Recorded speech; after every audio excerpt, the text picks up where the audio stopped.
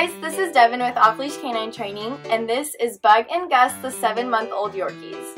Bug and Gus are here in training with us because their owners are just having a little bit of trouble controlling their energy.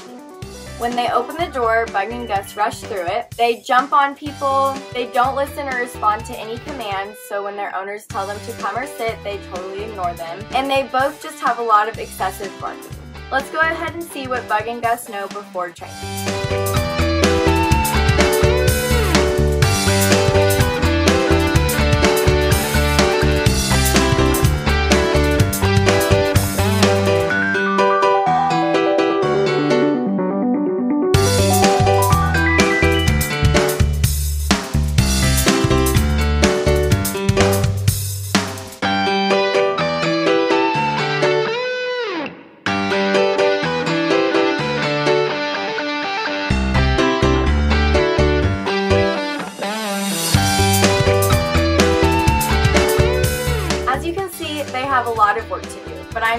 Excited to spend the next two weeks to watch their transformation. The following videos that you're about to see are of their transformation.